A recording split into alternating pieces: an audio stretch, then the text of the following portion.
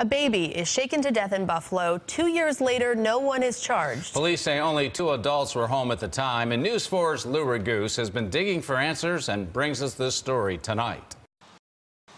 On November 10th, 2012, inside this house on Heath Street in Buffalo, police say seven week old Michael Clifford Jr. sustained the injuries that would take his life. According to the autopsy report, both legs broken, several ribs broken and inside his head, several brain bleeds and a hemorrhaged optic nerve, what police call a classic case of shaken baby syndrome. The baby looked like, like he wasn't breathing for a while already. Next door neighbor Carlos Majolo answered his door that morning to Siobhan Thomas, the baby's mother, asking him for help. I let him on the couch, started giving mouth to mouth while they were talking to 911 but um, I think it was too late at that time. Little Michael died at Women and Children's Hospital. His death was ruled a homicide. Buffalo police say only two adults were home when Michael was assaulted his parents, Michael Clifford Sr. and Siobhan Thomas. Their neighbor says the parents told him the baby simply woke up that way. They didn't tell you that someone hurt the baby? No. They just no. said that they woke up and the baby was crying? Yeah, they had no idea what was going on with the baby and something made him stop breathing or something, and after a little while after that, they brought her over here. Police say when they tried to question the parents, both of them lawyered up. Neither would help police.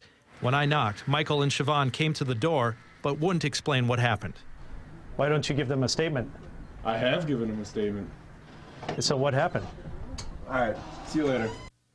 And to this day, no one has been charged in the baby's death. Erie County District Attorney Frank Sedita declined an interview, so we showed the autopsy report to former DA Frank Clark. Is this something that a baby could just wake up with these injuries? No. Clark says the injuries reflect a typical shaken baby case, but he calls one other thing on the report disturbing healing fractures in the baby's ribs, meaning prior injuries. But when you see multiple healing fractures, uh, that to me signifies abuse.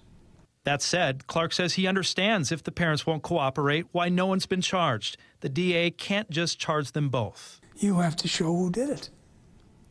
And if there are only two people in the house, and there is no other evidence to point um, definitively to one or the other,